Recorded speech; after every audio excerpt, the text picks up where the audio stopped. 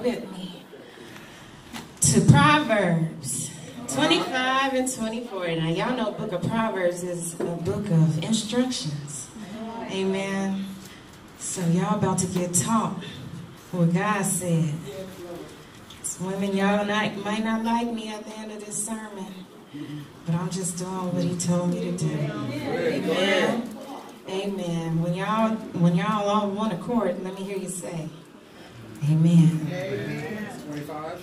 Proverbs 25 and 24. Amen. Amen. The Word of God says, For it is better to dwell in the corner of the housetop than with a brawling woman in a wide house. Amen. Amen.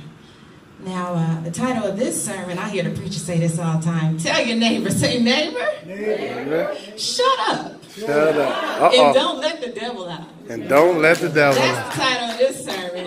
Amen. Y'all need to shut it up.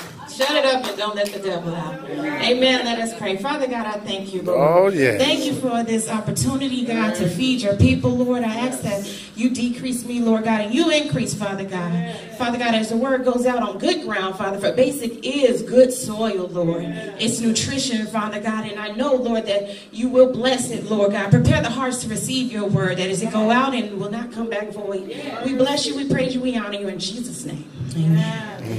Amen. You may father who passed away. And, you know, we old souls. We sit under him and listen to him tell stories for hours and hours and hours. And this one particular time we were sitting with him, he was um, sharing a story and he's beginning to get mad.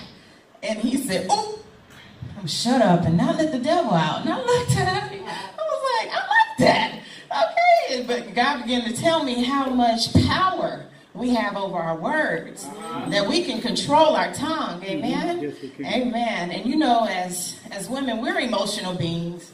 We love hard. You know, we're very detail oriented and stubborn in our own right because we know we're right. Right? I heard a woman say, I heard a woman say, yeah, the man, he the head, but he ain't nothing without that neck, because we control all that. I said, I know that's right, because we do it eh, whatever we want us to do. Amen. Amen. So let's go to the word. The word says, Wives, be submissive. As a wife, I am to be submissive to my husband as he follows Christ. Now, as the church, we are to be submissive to Christ because we are his bride and he is our husband. But how can we submit to each other if we can't submit to God? Amen. The word submit means to accept or yield to a superior force or to an authority or will of another person. That other person is your own husband. Amen. That's another title called, that's another sermon called Get Your Own Man. Uh-huh. Y'all know that story of the woman at the well when Jesus said, Go get your husband. She clutched her pearls like, I ain't got no husband. He said, Yes, you're right. You have five husbands. Y'all know that story. I'm going to get y'all another sermon on another day. Man, Pastor, put that in the pocket. Yes, ma'am. All right.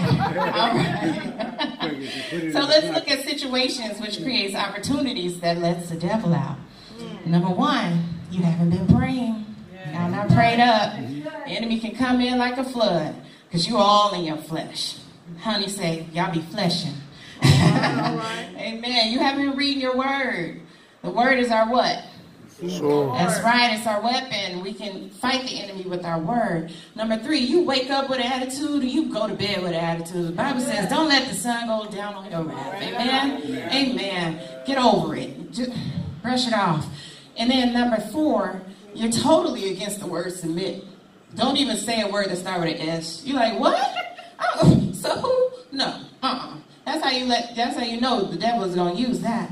And so all of these opportunities are for the enemy to attack you. Amen. He will use something as small as a piece of lint to create a ball of yarn. Over what? Pick your battles. I mean, it's nothing. You come home after a hard day's work, and he got dinner ready for you, and it's chicken and vegetables. And you come in, you say, chicken.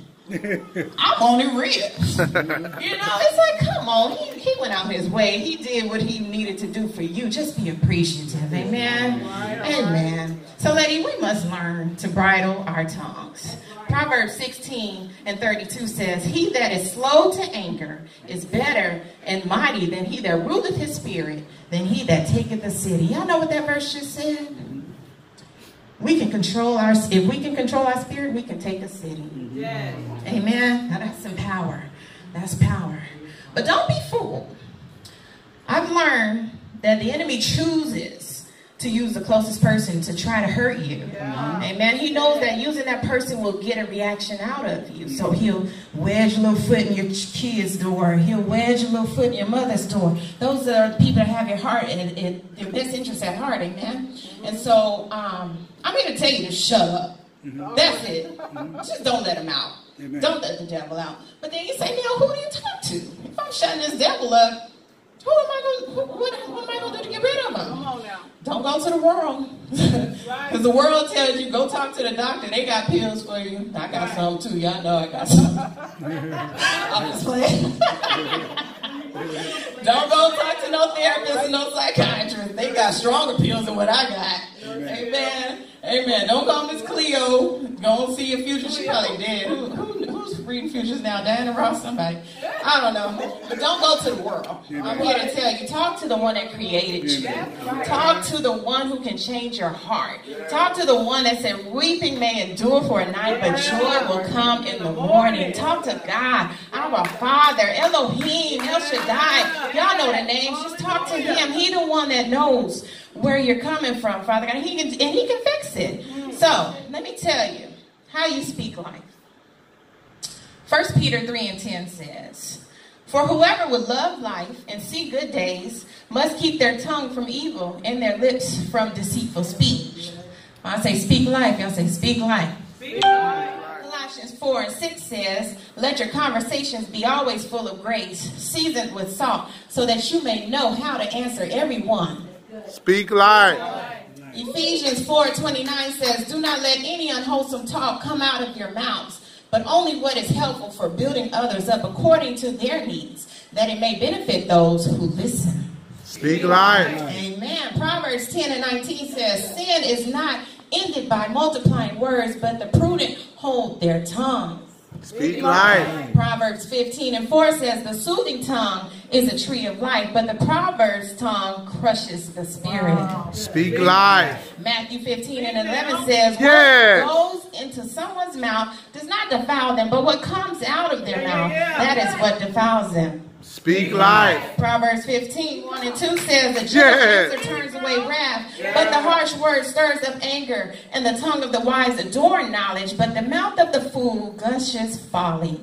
Speak life. Proverbs 12, 18, 19 says, The words of a reckless pierce like swords, but the tongue of the wise bring healing. Truthful lips endure forever, but a lying tongue lasts only a moment. Speak life. Yeah, I thought I was done. Proverbs 17, 27, 28 says, Yes. The one who has knowledge uses words with his Yes. and whoever has understanding is even tempered. Even fools are thought wise if they keep silent. And discerning if they hold their tongues. Speak life. Come on, y'all. Speak life. Speak life. Speak life. Speak life. Speak life. Amen. I charge you to be encouraged and to start speaking words of life and healing today. God bless you.